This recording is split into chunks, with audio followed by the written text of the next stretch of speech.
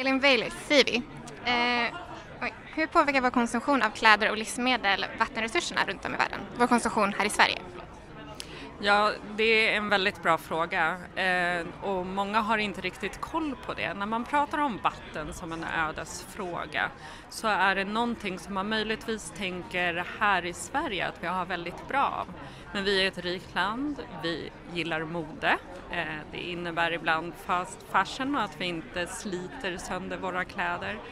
Det innebär också att vi vill ha jordgubbar året om, sparris på bordet, eh, hälsosamma val som avokado och ibland kött också. Men, och det gör att många av de saker som vi äter faktiskt importeras. Och samma sak med kläder, det finns inte ett plagg nästan som är producerat i Sverige. Så att det som är viktigt att tänka på är att vi exporterar våra negativa påverkan och också på ett annat sätt än klimatutsläpp. För de kommer ut i atmosfären och fördelas jämnt. Men när klimatet förändras så är det egentligen ett vattencirkeln som eh, påverkas. Och vatten är också mycket mer en lokal fråga för man kan ta slut på vattnet i en brunn eller grundvattentäkt nära. Eh, och framförallt så kan man förorena floder och sjöar.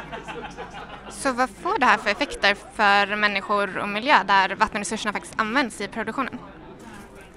Det vi ser eh, framförallt är att man i stora industrier där man använder eh, ineffektiva produktionsmetoder så använder man och överpumpar vattnet. Eh, vi ser sjunkande grundvattennivåer eh, för bevattning av grödor eller bomull eh, men även industriparker där man färgar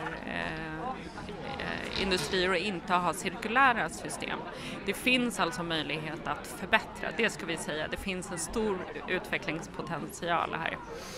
Ehm, det som tillkommer är också att vi har kvalitetsfrågor ligger väldigt högt på agendan. Folk blir sjuka av eh, industriella, industriellt avfall.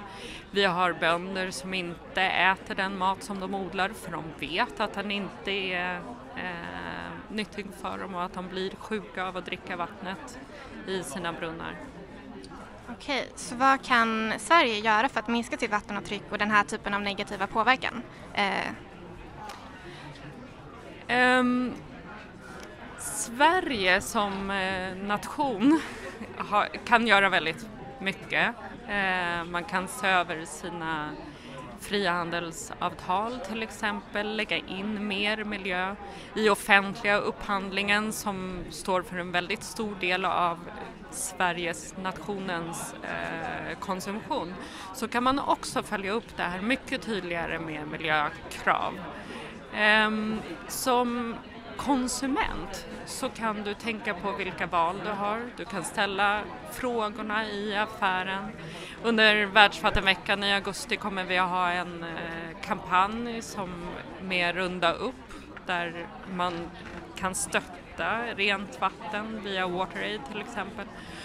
Och, men det viktigaste är kanske att använda sina kläder. Alltså det är sådana här basala saker, inte slänga maten. Vi vet att 25 procent av maten slängs alldeles i onödan och det är otroliga mängder eh, av resurser och mänskligt arbete som ligger bakom det förstås.